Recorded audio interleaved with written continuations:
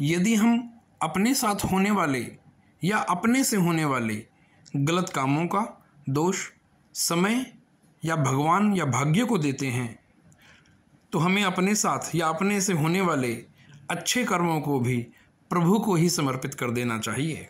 नमस्कार दोस्तों, आज हम चर्चा करेंगे एक बहुत सुंदर कहानी जो मैंने एक विद्वान ब्राह्मण से सुनी थी।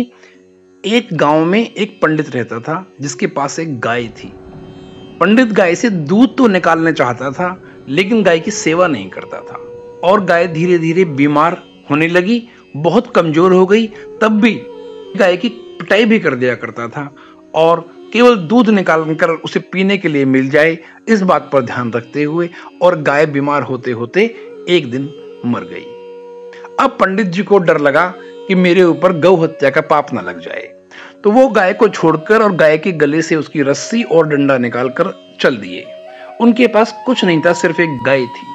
अब पंडित जी चल दिए, जंगल में चले जा रहे थे और बार बार बोलते जा रहे थे, जो कुछ करता है, भगवान करता है। तो ये गाय भी भगवान ने मारी है। जो कुछ करता है, भगवान करता है। ये गाय भी भगवान ने मारी है। जो कुछ करता है, भगवान करता है। ये गाय भी भगवान ने मारी है। इतना तेज तेज विलाप करते हुए जा रहे थे कि भगवान स्वयं एक साधु का वेश बनाकर एक दंडी स्वामी के रूप में जंगल के अंदर उस पंडित के सामने आ गए और बोले, पंडित जी, क्यों रो रहे हो? क्या हो गया? पंडित फिर बोला कि, ऐसे ऐसे हुआ, उसने पूरी कहानी बताई और गाय मर गई मेरी। मैं उसकी सेवा नहीं करता था, परंतु जो भी कुछ करता है, भगवान करता है इसलिए गाय भी भगवान ने मारी है। दंडी स्वामी के वेश में जो भगवान आए थे, वो बोले, भगवान से हमारी रोज मुलाकात होती है। हम उनसे मिलते ही रहते हैं। जो तुमसे गलती हुई, उसके दंड स्वरूप केवल ये अपनी रस्सी और एक डंडा लकड़ी जो तुमने पकड़ी है, ये दे दो। हम भगवान से कह देंगे, तुम्हारे ऊपर कोई पाप का बोझ नहीं रहेगा।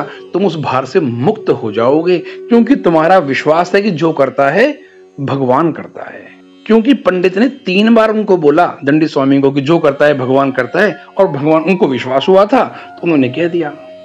और पंडित ने तुरंत वो रस्सी और डंडी उस दंडी स्वामी को दे दी, और अपने रास्ते ऐसा सोचकर कि मेरे सिर से पाप का बोझ उतर गया और चले गए दूसरे गाँव में, शहर में पहुँचे, वहाँ कुछ लोगों से मिले और धीरे धीरे उनकी ज्ञान की चर्चा होने लगी और पंडित जी की पंडिताई चलने लग गई। उन लोगों को उनकी परेशानियों के उपाय बताने लगे, पूजा कराने लगे, यज्ञ कराने लगे और धीरे धीरे पंडित जी की पंडिताई इतनी चल गई कि उस शहर में नाम हो गया पंडित जी का। लोग पंडित जी के पास खूब दान दक्षिणा देने लगे। पंडित जी के भंडारे भरने लगे। अच्छा घर बन गया। पंडित जी ने सोचा कि इतना समय हो गया, मैं एक यज्ञ कराता हूँ। पंडित जी ने बहुत बड़ा यज्ञ कराया, आयोजन किया। उसका भंडारा चल रहा था, एक तरफ़ यज्ञ चल रहा था और बहुत आसपास के गाँवों के लोग, ब्राह्मण, साहूकार सभी उस यज्ञ में आए थे। अब भगवान फिर उसी दंडी स्वामी का वेश बनाकर दोबारा उस यज्ञ के अंदर आकर, जहाँ साधु बैठे थे, वहाँ बैठने लगे और जब भोजन का समय आया, वो पंडित के पास गए। उन्होंने पूछा, पंडित जी, ये यज्ञ कौन करा रहा है? पंडित बोला, बाबा, भोजन करो, मैं ही करा रहा हूँ। भगवान ने फिर पूछा, पंडित जी, ये यज्ञ कौन करा रहा है? अनुष्ठान कौन करा रहा है? पंडित फिर अरे बाबा बताए तो सही, मैं करा रहा हूँ। दंडी स्वामी ने तीसरी बार पूछा, पंडित, ये यज्ञ कौन करा रहा है? पंडित जी फिर बोले, अरे, अभी तो बताया समझ नहीं आ रही कि आपको ये यज्ञ मैं करा रहा हूँ, आप भोजन लो। भगवान तुरंत बोले, पंडित, ये लो अपनी डंडी और ये लो अपनी रस्सी। यदि ये यज्ञ तुम करा रहे हो तो गाय भी तू नहीं मारी थी।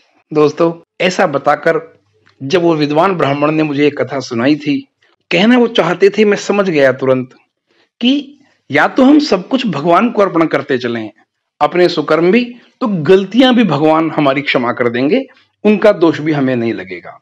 लेकिन ऐसा नहीं कि जो अच्छा हो, वो हमारा, और जो खराब हो गया, वो काल ही, कर्म ही, ईश्वर ही मिथ्या दोष लगाए।